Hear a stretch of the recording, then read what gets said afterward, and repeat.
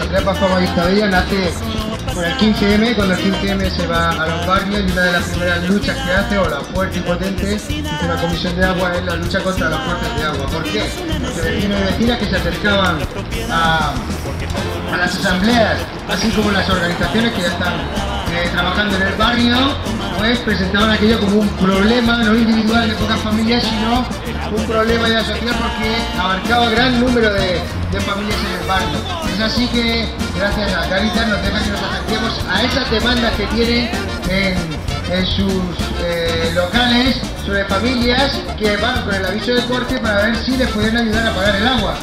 Entonces dimension- dimensionamos el, problema eh, someramente, pero ya nos encontramos con casi 170 familias con el agua a, punto de cortarse con el agua cortada de ahí que pues eh, seguimos investigando, tenemos a consumo, llamamos a, ciertos expertos, abogadas, etcétera, para eh, de alguna forma investigar y conocer cómo podríamos abordar el problema de los cortes de agua. Y de ahí establecemos todo un repertorio de de acción, vamos a la puerta del ayuntamiento, eh, nos entrevistamos con los directivos de Moasa porque llaman a, a Judith, vecina y gran luchadora contra los cortes de agua. Eh, nos, eh, nos entrevistamos con Judith también con el defensor del pueblo, etc. El caso es que se lleva al pleno la problemática de los cortes de agua y se establece un fondo social que gestiona EMUASA, por el que el año pasado se beneficiaron más de 500 familias, es decir, fa- 500 familias corroborado por los servicios sociales del ayuntamiento, se les condonó la deuda por tanto no se les cortó el agua. Pero el Fondo Social lo gestiona, como digo, EMUASA, una empresa privada, que de nuestros fondos se está llevando un dinero.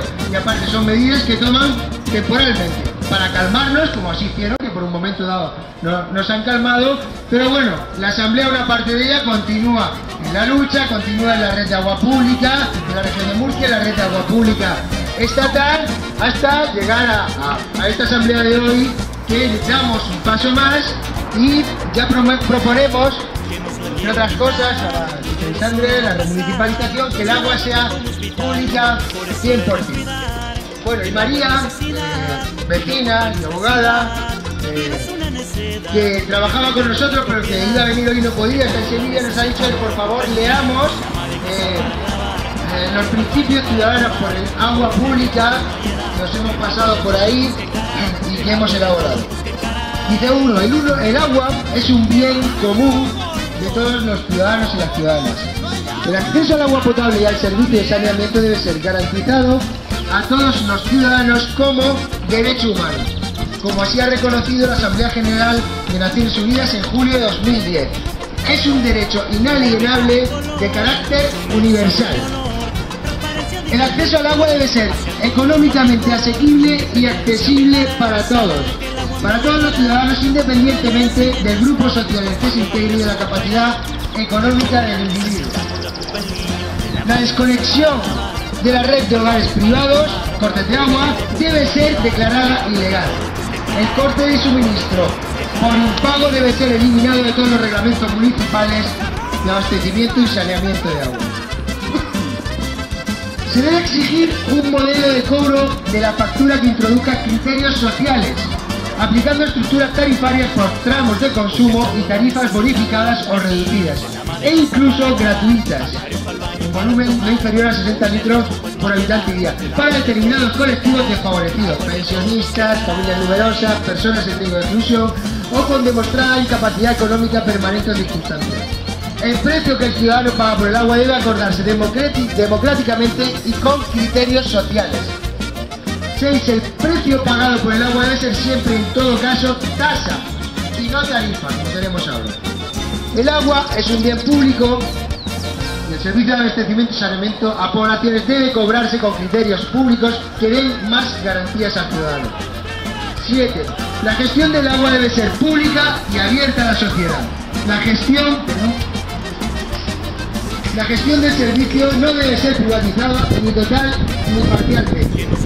Ni tampoco, por supuesto, en sociedades mixtas como la de Muasa, la de Aguas de. Los ciudadanos deben ejercer su derecho de participación directa en la gestión del servicio designado designando a sus representantes elegidos por la ciudadanía para formar parte de los órganos o consejos de administración. Y ahora no tenemos ninguna representación, ni aquí ni en la mayoría del público. 9. La información relevante para los usuarios debe ser accesible, pública y transparente para el público en general.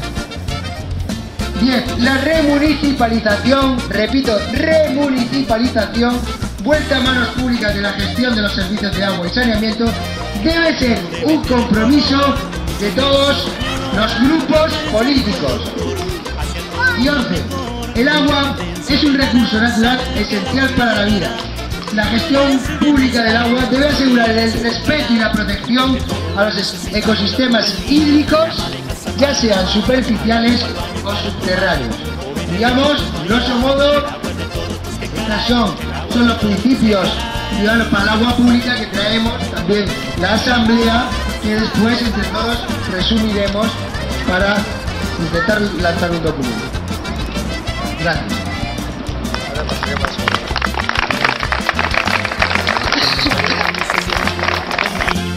De